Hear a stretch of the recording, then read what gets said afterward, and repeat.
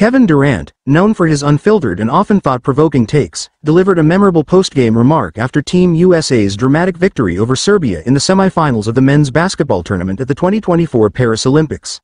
The game, held on August 8 at the Bercy Arena, was a nail-biter that saw Team USA pushed to the brink by a resilient Serbian squad led by NBA's superstar Nikola Jokic.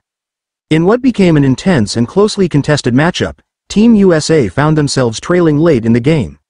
However, a clutch performance from veteran stars LeBron James and Stephen Curry fueled a thrilling comeback, securing a place in the gold medal game against host nation France, led by the towering Victor Wembanyama.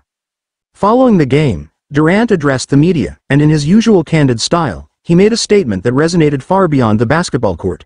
When asked about playing for Team USA and representing the country on the global stage, Durant didn't hold back.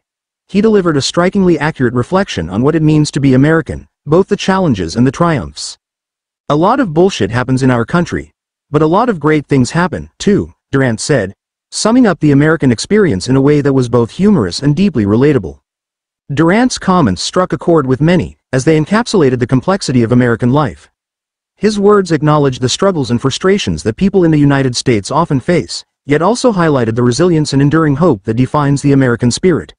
His analogy to basketball, a game of highs and lows, where perseverance and teamwork ultimately lead to success, was fitting and poignant. As the U.S. prepares to face France in the gold medal game, Durant's words serve as a reminder of the dualities that characterize life in America.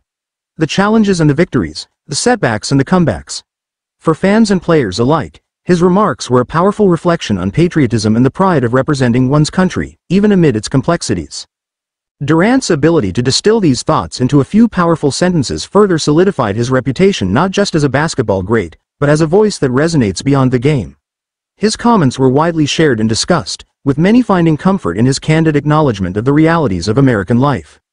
As Team USA gears up for what promises to be an epic showdown in the gold medal game, Durant's words will likely linger in the minds of many, a reminder that, despite the difficulties, there is always light at the end of the tunnel, and, like in basketball, the opportunity to triumph against the odds.